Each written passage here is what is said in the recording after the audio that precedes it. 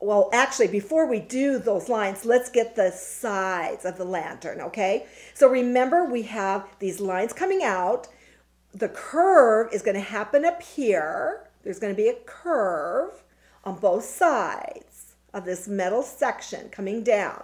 And then it's going to be a straight line down.